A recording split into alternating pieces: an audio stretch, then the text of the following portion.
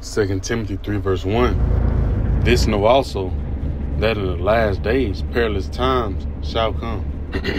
First and foremost, I'm going to give all honor, glory, and praises to Yahweh, Bahashem, Yahweh by Bahashem, Rakakadash. Double honor to the elders and the apostles of great millstone, rule well and teach well. Shalom to the old like men that scattered abroad, pushing the truth without sincerity. And shalom to a few sisters Right, take a heed and get in the order of these last days. I'm the brother I'm a one coming at you with the Lord willing edifying video. You know, this update, you know, in the news, you know, so to speak. Right, but um I got an article um from from Newsbreak, right?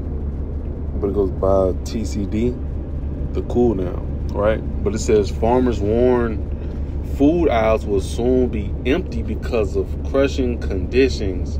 We are not in a good position right? And and we know, like I said, everything is piece by piece that's going to lead all up to Jacob's trouble, man. You know, and the Lord Yahweh Yahushua is forming it, man. Right? I'm gonna read more into the article, you know, but hey, we know this race this race is uh, gonna be major. You know, this has to come. Right? Says there is a concern that we won't ever have the volumes we had in the past and the future. Come.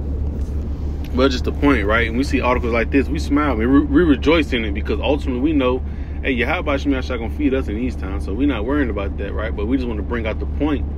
These times and conditions are coming, right? When we talk about hell, hell is also stated as a condition played out on earth. You know, so hell, great hell is coming. You know, a bad position. That's why I said, hey, in the book of uh, Second um, Timothy, right? In these last days, the uh, perilous time shall come right? Perilous meaning what? Dangerous. You know. Uh, let's read some of it. And hey, like I said, hey, we see food aisles like that. Hey, we, we, we rejoice, man, cause we know this right going. This right here is, is, is actually steps to what having people lose their mind. You know, because we know the average American is not fasting. You know, they're pretty much eat as, eat as thy seat. Right? Let's read some of this right quick. It says the United Kingdom is facing dire food shortages, right? And uh, it's just in the United Kingdom, but we know, hey, it's going to come to, it's going to hit Babylon the Great, America the, the, the worst. You know, like I said, you know, America is do as thou will. You know, you, you, got access to everything. There's no time limit on nothing. You know, so like I say, it's going to hit America the, the, uh, the worst. It says the United Kingdom is facing dire food shortages, forcing prices to skyrocket and experts predict this is only the beginning. And also, thanks, I, I meant to do the video on this one topic, right? But there's an article going to what stagflation, you know, and we know soon to come, right? It's gonna, uh, you know, be hyperinflation, right? So we, hey, so and, and, that's how you know we at the end of this this uh, kingdom as well. Cause you know, hey, like I said, everything written the fourth time, for time of learning. Going back to the um, you know, uh, to Rome. You know how, hey, it went from you know the, uh, what, what, was helping causing. How you knew it was at the end was what? Because of the downfall. The downfall was going with society. You know, this seeing seeing this right here, right? Seeing uh, food shortages. You know, the economics. Seeing all of that thing starting to go down. That's how you know you're at the end of this road, man. You know, but let, us keep going. It says United Kingdom is facing dire food shortages, forcing prices to skyrocket. Right, and when you skyrocket it, it goes into hyperinflation. You know, it's gonna go into hyperinflation, meaning you're gonna be paying prices that's shit you can't even think of, like two hundred dollars for a bag of chips. You know, right, and that's gonna also help the people make the people lose their mind. Right, and let's grab that word dire right quick. Um, look up. It says of a situation or event extremely serious or urgent, right? So the United Kingdom is facing an extremely right urgent food shortage, forcing prices to skyrocket, and ex- experts predict this is only the beginning. Shocking. When you hear words like that, let's dive into another scripture, man. Right? The book of Matthew. This is only the beginning. Let's get it. You know, and these are the signs of the end, right? It's Matthew 24.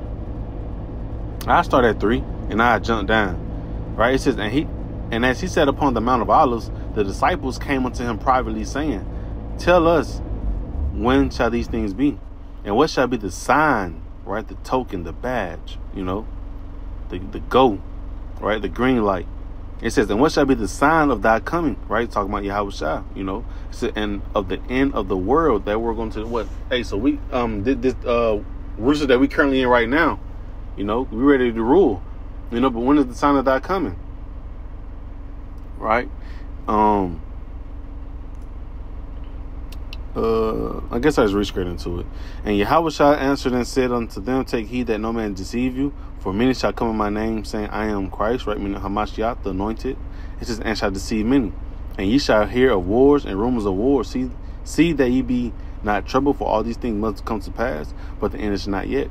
For nation shall rise against nation, and kingdom against kingdom, and there shall be famines and pestilences and earthquakes in diverse places. Verse 8. And these are the beginning of sorrows, right? it's only the beginning of, you know, shit hitting the fan, man. Right? This only the beginning of hyperinflation. You know? We haven't even reached the peak of it yet.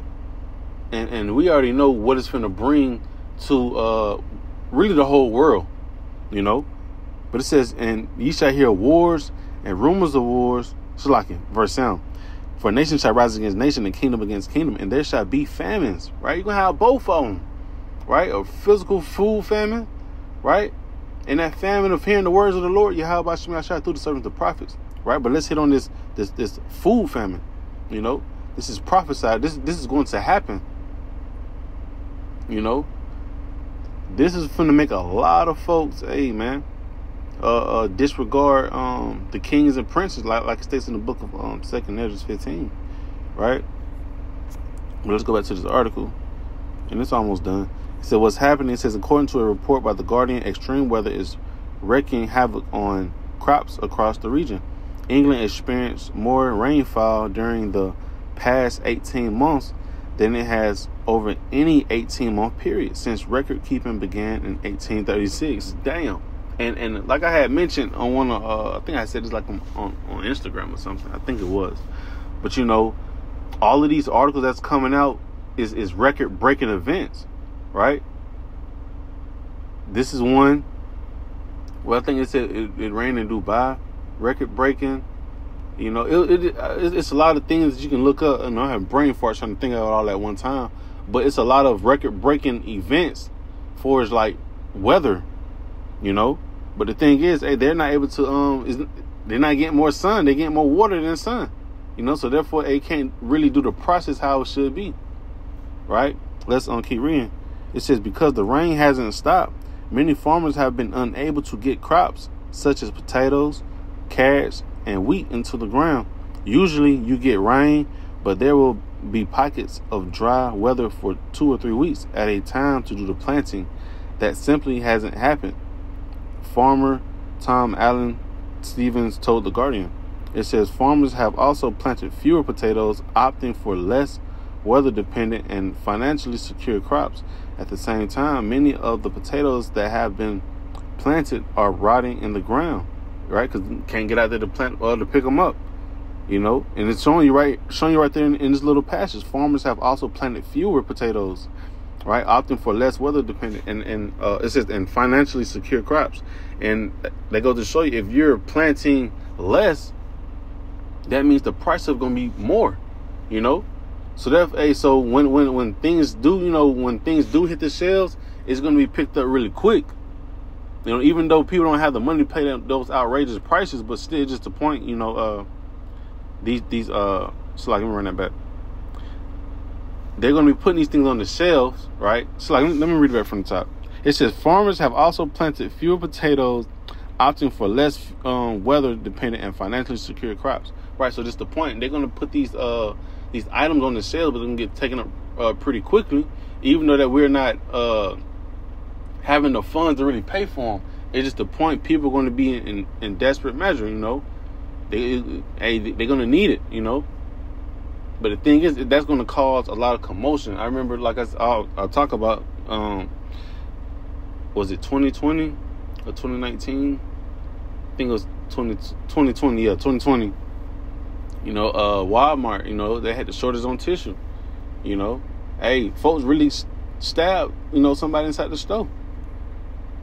All over tissue, man. All because hey, they they they they sound out the alarm, right? They sound out the alarm letting you know that um it's a uh was it a um shortage?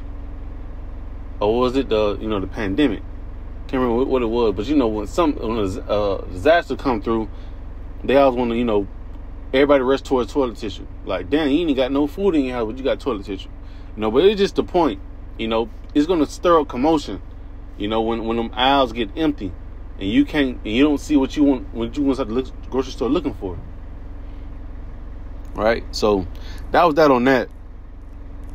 You know, I just like seeing this picture, honestly. seeing them, them, empty shells, man, and, and, hey, it's gonna, like I said, gonna cause commotion. But let's uh, hit some more scriptures right? Because like I said, it's to lead up to this right here. Like um, Jeremiah 30 and 7. That's what it's to lead up to. Um, damn, what's I looking for? A second Esdras. Second Esdras 15.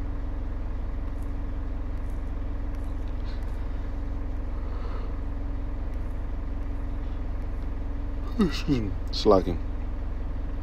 Second is 15, verse 19. This, like I said, this is going to lead all up to this, man, because you know it's going to lead to chaos, right? Because the government won't be able to help, and people are going to pretty much be in they um defense mode, survival mode, man. Right? But it says second is 15, verse 19. A man shall have no pity upon his neighbor, but shall destroy their houses with the sword and spoil their goods because of the lack of bread and for great tribulation. You know, seeing things like this, like I said, this is going to be widespread. It's going to happen all over the place, man. You know, so you're going to have, hey, people run inside your house. You know what I'm saying? You're going to have the love of many waxing cold. Hey, uh, hey, your wife may not believe. You know, and, and and you telling her to be patient and wait, she probably left and went inside somebody else shit. You know, it, that, you know, it, it's finna be, it's finna be tough out here, man. You know, that's that's what gonna lead to. Right? But it says the man shall have no pity upon his neighbor, but shall destroy their houses with the sword and spoil their goods because of the lack of bread for great, great tribulation. So you know, it's just the point, right? People are not going to be moving off the spirit of, of, the Lord in that day, man. Right? They're to have the spirit of the, the, the flesh, moving off just the flesh, and they don't matter who's inside behind that door. They want they want the goods, man. You know, because the inflation that's going on, the hyperinflation that's going on, they can't, they can't, they can't cope with it. They don't know how to really, you know, uh, maneuver with it. Right? Um, is it uh, the first Esdras full? I think it's twenty two. Nah. It's like this early morning. The second Esdras four.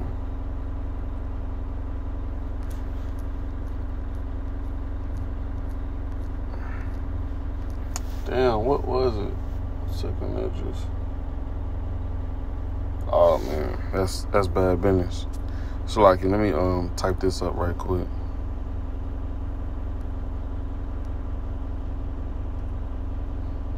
Uh, what? Second Esdras.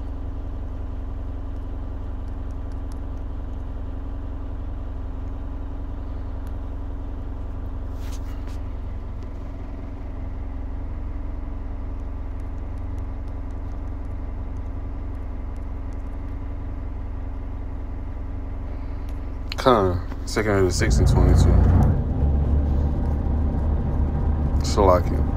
Right? This second of 6 and 22 says, And suddenly shall the sown places appear unsown. Right? And that, that's heavy. That, that That's like that dagger scripture right here that fits the whole article. You know? Because it's, hey, we know soon to come if, if the plants, if the, if the farmer's not able to plant, right? That means the storehouse is going to be, you know, empty because they, they're not keeping up. They're not getting enough, uh, you know, um, um, crops, you know, inside on the shelves. It says, and suddenly shall the sown places appear unsown, the full storehouses shall suddenly be found empty.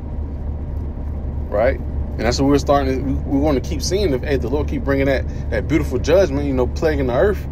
You know, these farmers can't do their job. right? Because it's a photo, you know, it's, it's a, a, system. You know, they they uh, plant around harvest season, they pick them up, they send them to the stalls, and you know, woo woo, right? But if the Lord's intervening with it, hey, it's going to cause a lot of commotion because they can't do their job and they won't be able to start the process. You know, so hey, call Allah Yahweh on that. Right, verse 24, it says, At that time shall friends fight one against another like enemies. Right? That's how severe it's going to be. That's how dangerous it's going to be when it's no food on them aisles. So if they do see some food on them aisles, hey man, you might want to stand back. If you saw one of these grocery stores, man, because you might just see somebody get they, you know, they they head blown off, you know, or cut up, right? All over, you know, the last pack of ramen noodles we always say right? But this is at that time shall friends fight one against another like enemies, right? Having no remorse and having no pity, right? Not caring that y'all was the best friends for 24 years. None of that. They go out the window when this hyperinflation really kick in, man. And like I always state, you know, that Snicker commercial, you ain't you when you hungry, right? People gonna let them demons override them and, and move them in that day. It says, At that time shall friends fight one against another like enemies, and the earth shall stand in fear with those that dwell therein, the springs of the fountain shall stand still, and in three hours they shall not run. Excuse me. And I want to just bring out, you know, the precepts with, you know, hey, because we know that we're going to eat in that day. Like, like I said, and that's why we bring out these scriptures, these articles, because we know, we bring out this article, we know that, hey, this, this right here is going to happen, but we also know on the back end, the Lord going to actually uh, have us, or make sure that we eat. You know, because we're doing what the works, right? The Lord got to make sure He work, uh, reward us. You know, we're doing the works. It's the book of Isaiah 65 and verse 13. It says, Therefore, thus saith the Lord, Behold, my servant shall eat, but ye shall be hungry. You know, because hey, mainly it's going to be these these unbelievers inside them stores, you know, crying because they couldn't get you know a meal or whatever. That no, we're to sit back and we're to wait, man, because the Lord said, My servant's to eat. Now, how he gonna feed us, we don't know, right? But we got the faith; we will be fed. You know, Ecclesiastes two and ten, the pro, um, Salaki, you know, have their inner belief in the Lord and was co-founded. You know, so we know we're gonna eat, we just don't know how, right? But we won't be out here like these lunatics right here. But it says, um, behold, Salakia. Therefore, thus saith the Lord Yahweh Shem Shah power. Behold, my servant shall eat, but my but ye shall be hungry. Behold, my servant shall drink, but ye shall be thirsty. Behold, my servant shall rejoice, but ye shall be ashamed. Right? And and we know it's gonna happen because it's been plenty of times where where, you know, you just out the you know, out the blue, you may be at the stove and you may want to pay for your food and somebody say, Oh, I got that. You know, or you may be at the stove and the person in front of you may say, uh, I'm gonna pay for mine and his. It didn't happen to me before. And it's a beautiful thing to know, know that the Lord's to feed you in those days, man. Right? Knowing not, hey, knowing, because the Lord knows the situation of the battle. Know, know we all to be fucked up in, in, in a position, man. But, right? It's that but. Lord to feed us, man. Right? Matter of fact, and, and Lord willing, you know, the scripture right here help. Right? Second Corinthians 5 and 7. For we walk by faith and not by sight. You know, because in the day, this is all about holding that faith in in the dire times of of of of, of um, perilous times, you know, right? Lord gonna say He gonna feed He gonna feed us, man. Right? Let me go back to that. Lord willing, this hitting home, and I close out that article pretty good, right? Um. So, like I say, yeah, we bring we see these articles, and we hey, we just see it and we, we rejoice at it because we know. Hey, Yahweh Shemashah is cranking it up, you know, and it's our time to be, you know, waxing stronger with our faith, putting on as much armor as possible. Because we know it's coming, right? But it says, Therefore, thus saith the Lord, Behold, my servant shall eat, but ye shall be hungry. Behold, my servant shall drink, but ye shall be thirsty. Right? Behold, my servant shall rejoice, but ye shall be ashamed. We're going to be eating in the mix of this, man. Right? But I'm to close out with that. Lord willing, I mean, there's more pieces I can grab, but Lord willing, this was edifying.